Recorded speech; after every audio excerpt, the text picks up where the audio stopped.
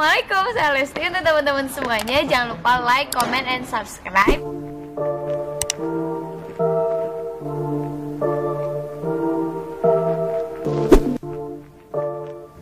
Hai hai guys, ketemu lagi di Perleslaran.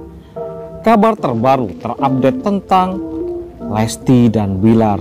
Tentu kalian selalu penasaran dan menunggu-nunggu kabar bagaimana idola dan kesayangan kita ini Lesti dan Bilar yang selalu mencuri perhatian kita semua.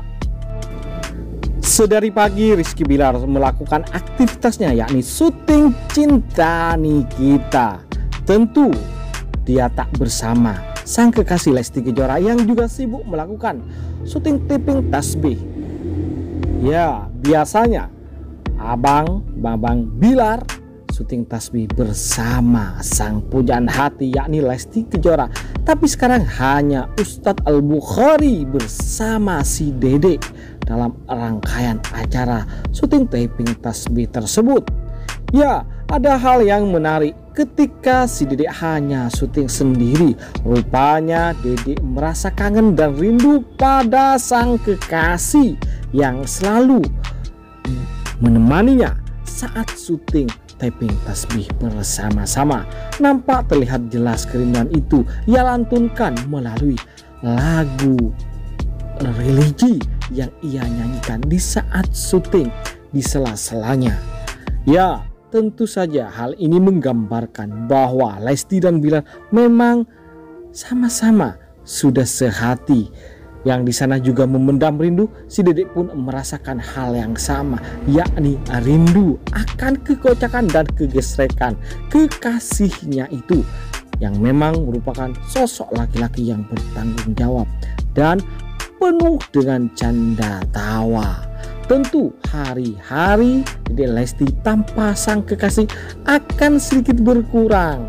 Berkurang kejenakaannya karena biasanya dialah yang selalu memberikan nuansa yang berbeda dan membuatnya selalu tertawa di saat syuting bersama-sama. Ada saja sih ulahnya, namun berbeda nyatanya kini mereka syuting sama-sama syuting namun berbeda lokasi. Yang satu yakni Dedek Lesti syuting di taping Tasbih sedangkan Bang B syuting di acara Cinta Nikita di SCTV. Hal itu pun tentunya semakin menyemai dan menabur rindu di hati keduanya yakni kerinduan pada pujaan hati nan jauh di sana seperti yang dilakukan Dedek Lesti Kejora yang menyandungkan lagu religi sebagai bentuk dari ungkapan isi hatinya itu.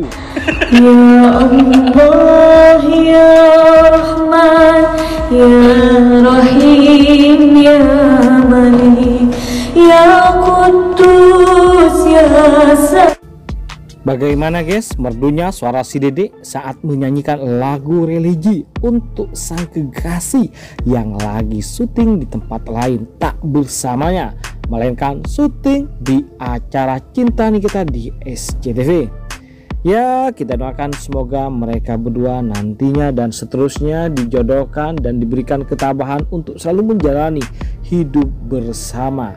Tentu Semoga juga mereka akhirnya seperti yang di drama musikalkan yakni bisa mempunyai anak sampai 11 begitu lucu-lucu kan dan tentu akan bikin kita semua pada baper karena ya anugerah yang mereka terima dengan punya anak 11 lucu banget kan guys tentunya? Ya lucu banget karena mereka keduanya sama-sama gesrek sama-sama lucu sama-sama banyol pokoknya sama-sama caem intinya dan sama-sama saling mencintai satu sama lain.